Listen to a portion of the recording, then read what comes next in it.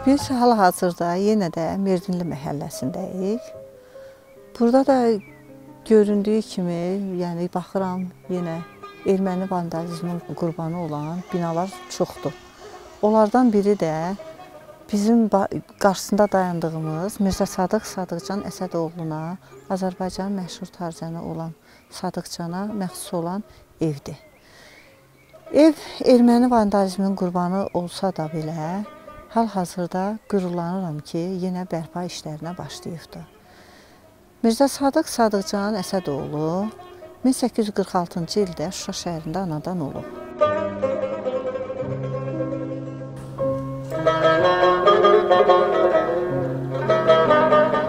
Sadıqcan tarda çox gözəl ifalar eləyir, xalqın məhəbbətini qazanır. Orta Asiya ölkələrində, Zaqafqaziyada məşhur tarzənə çevrilir. Tarzən olduğu dövrlərdə Sadıqcanı daim düşündürən bir iş olur ki, bu da tarın imkanlarını genişləndirmək məsələsidir. Ona görə də Tarzan Sadıqcan 1870-75-ci illər ərzində tarda əsaslı dəyişikliklər eləyərək onun konstruksiyasında müəyyən dəyişikliklər eləyir və ona 5 sim əlavə eləyir iki cingənə simləri, kök simləri və tarın siminin sayını 11-ə çatdırır. Və yuxarı hissəsində tarın kəllə hissəsi deyilən yerə o pərdələr əlavə eləyir ki, bu da lal barmaq üslubunun icadı demək idi.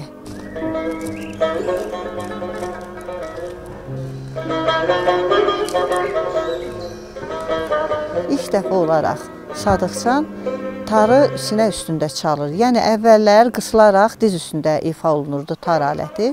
Sadıqcan isə yəqin ki, bir tarzən kimi bununla razılaşmadığından o konstruksiyasına tarı e, sinə üstünə qaldırmağa daha məsləhət görmüşdü. Ta, Sadıqcan tək demək olar olmaz ki, o tarzəndir. Eyni zamanda bəstəkar, eyni zamanda yaradıcı bir şəxs olub ki, ilk dəfə o Şuşada ansambl yaradır. Ansamblın üzvlərinin içərisində hətta iki nəfər də qadın e, iştirakçısı olur ki, onlar da ancaq yaxın şərq ölkələrinin, Zaqafqaziya xalqlarının mahnılarını, e, rəqslərini ifa eləyirdilər.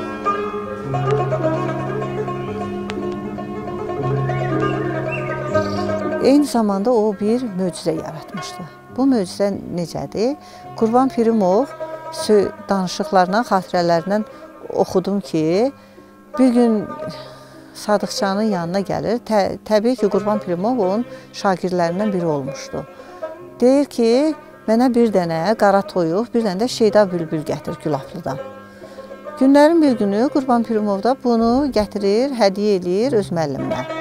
Bir günləri yenə müəllimin yanına gələndə baxır ki, qara toyuğun qarşısına bir dənə güzgü qoyub və onun oxuduğu nəğməyə uyğun bir dənə təsnif çalır.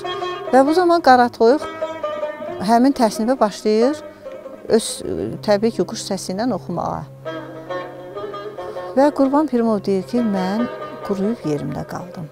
Deməli bizim Mirzə Sadıq Sadıqçan Əsədoğlu belə bir möhtəşəm bir, möhtərəm, şərəfli, öz musiqi tarixində özünün müstəsna yeri olan bir sənətkar olmuşdu. 1902-ci ildə Şuşa şəhərində vəfat etmişdi 56 yaşında.